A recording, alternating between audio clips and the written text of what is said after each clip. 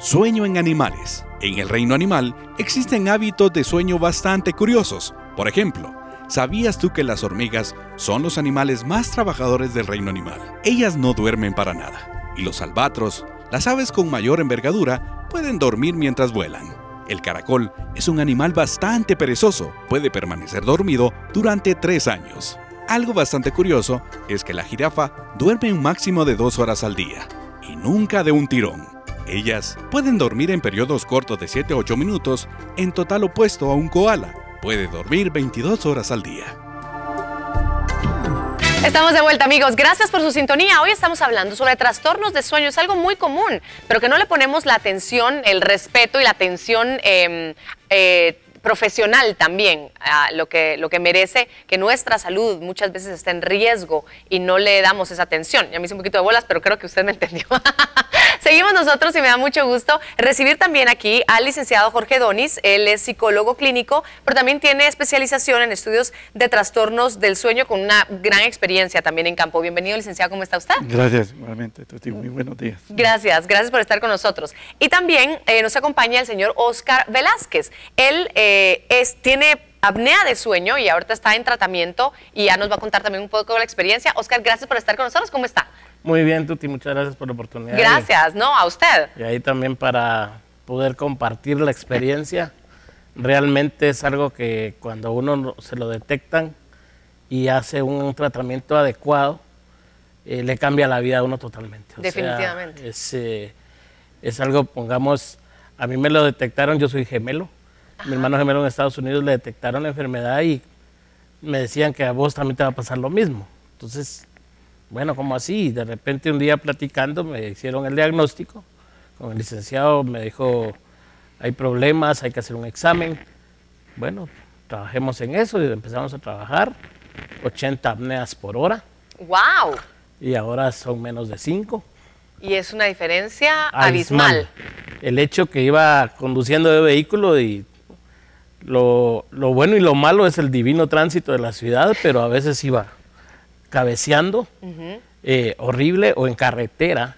Qué peligroso. sí, entonces decía como una solución, voy a, parar un ratito, voy a descansar. Realmente el no dormir bien, una calidad de sueño que no existe, preocupado porque no es normal. Claro. Entonces dice uno, bueno, ¿qué me está pasando? Eh, también me ayudó mucho el bajar de peso, es algo que me ayudó mucho. Seguro. Eh, también eh, ya el utilizar el equipo, cuando uno le diagnostican y le hacen toda la serie del examen, uno parece como que fuera robot con un montón de cositas. y, se entiende porque eso afecta al corazón. El hecho de levantarse uno en la noche, el cuerpo automáticamente le da a uno como un pará y hay que hacer algo para que se despierte. Entonces, entre las funciones del cuerpo viene uno y dice, bueno, me tengo que levantar a orinar. Entonces, ¿Podría, intervenir. Sí, sí, claro, claro, por favor. Eh, en el asunto de Oscar, yo me recuerdo que él vino a la clínica en una parte psicológica, porque él tenía mucha ansiedad, él padecía de ansiedad, y había que buscarle la causa por qué él tenía la ansiedad.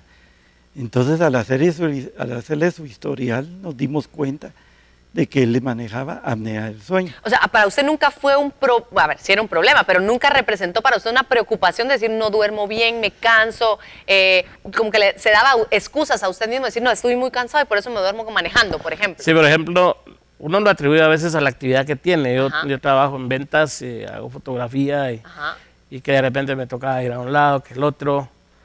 Y dice uno, bueno, me, la, la, excusa que uno se da, me, me costé tarde, no dormí bien. Claro. Pero ya platicando con el licenciado, eh, ese tipo de ansiedad, estas cosas que le van dando a uno, son consecuencias de también. Ahora, licenciado, ¿cómo es que se llega al diagnóstico eh, de, la apnea? Porque uno puede decir, si yo no descanso bien, eh, a veces eh, mi pareja o mis hijos me molestan de que, me, que los asusto a medianoche porque me despierto así como medio ahogándome, pero se hace un diagnóstico a través también de ciertos métodos. ¿Cómo sí, se sí, hace? sí, yo en el caso de Oscar usamos el test de Hamilton, que era para ver los niveles de ansiedad que él manejaba. Ahí habían bastantes preguntas pero también por el sobrepeso y lo que me contó el hermano, fue que procedimos a realizar la polisonografía, que es el estudio de sueño. Eh, ahí como resultado nos dio que tenía 80 apneas por hora y el oxígeno le bajó creo que a 50%. Wow. Oscar estaba malísimo. Claro, claro. Después le pusimos, lo tratamos con el CPAP y ves donde ha tenido bastante mejoría y volvimos a repetir el test de ansiedad y los niveles de ansiedad habían bajado considerablemente. Increíble que estén relacionados. Uno no le pone atención a eso y uno no lo relaciona así. ¿Qué pasa con su vida, con su actividad, con la familia, con su participación en cualquier cosa? Lo que sucede es de que eh, el sueño se fue, el del día. Ajá. Eh, uno está menos estresado, menos, más eh, descansado. Yo le decía al licenciado, que mi clave es que ya sueño. O sea, yo no tenía sueños porque se me interrumpía por la, lo que tú que dices de... Sí, sí, sí, de ahogarse. ¿Y qué le está pasando a uno? Eh, después empieza uno a escuchar que hay gente que ha fallecido, que la, muerte súbita. Entonces, todas estas cuestiones realmente uno debe ir buscando la asesoría de los profesionales. Por supuesto. Pero eh, muchas veces el temor en esto es eh, que me iba a pasar, pero yo les digo a las personas que tengan esto que realmente hagan por probar eh, con un médico cualquiera, no, sino con un especialista. Por supuesto, tienen que hacerlo. Porque generalmente a veces solo vamos o vamos a la farmacia y mira que es común en nuestro país. Sí, sí, Entonces, o el remedio que le funcionó al vecino porque tenía la nariz tapada y uno cree que ese es el asunto.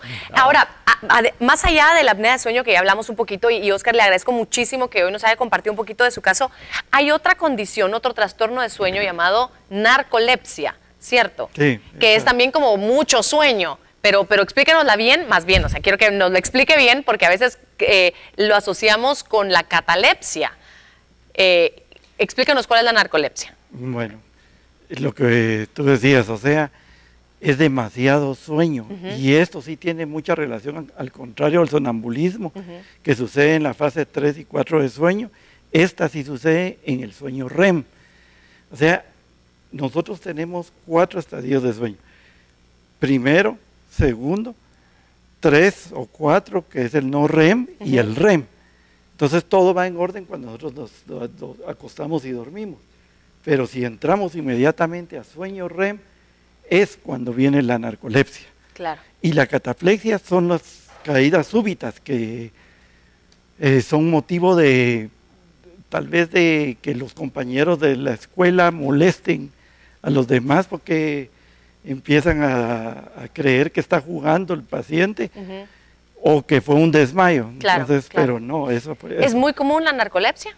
Mm, no es, tan común, pero sí hemos tenido casos aquí en Guatemala. Interesante, estamos hablando sobre trastornos de sueños, queridos amigos, y vamos a hacer una pausa más, vamos a volver para hablar de insomnio, no se me ha olvidado, pero creo que es muy importante y lo dejamos de último para poder tener a todos los especialistas hablando sobre el tema. Por favor, no cambie de canal, siga con nosotros.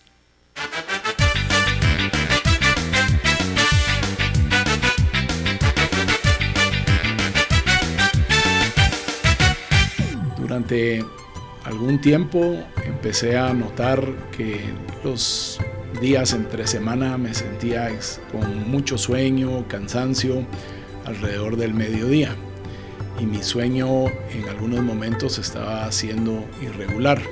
Empezó un proceso en el cual pues eh, fui sometido a exámenes y algunas pruebas médicas para evaluar cómo estaba eh, mi respiración durante el sueño, ya que mi sensación era que no estaba descansando y durmiendo el suficiente número de horas. Luego de realizar los exámenes, pues ah, se diagnosticó apnea y entonces empecé a ser tratado y a utilizar el equipo que me recomendaron para poder realmente descansar durante las noches. Esto ha creado un cambio impresionante pues en el descanso, en la vida familiar. Mm, yo pienso que sí. Mm, yo creo que sí, supongo que sí porque es molesto, ¿verdad? No, mm, demasiado, sí. Sí afecta mucho porque por ejemplo, la persona que no ronca y la que ronca no deja dormir a la otra persona, ¿verdad? Entonces se mantiene despierta de mal humor o una cosa así, ¿verdad? Ah, bien, a veces, va, porque a veces la, que tal la paz no lo dejas dormir, ¿verdad? ¿Sí? Puede que sí. Porque es una molestia, ¿no? Para la pareja de uno, nada más. Sí, sí afecta. Porque mi esposa me ha dicho, eh, tú duermes como que no hubiera nadie contigo y ya se le va el sueño. Bueno, depende. Depende de la relación. Al volver, Cuando se prolonga el, el problema de insomnio, se comienzan a producir malas adaptaciones y malas conductas. Ya muchas mamás hasta piden eso, que se les investigue porque los niños después están dormidos y no ponen atención. Pero en general es un trastorno que al día siguiente el paciente está muy cansado.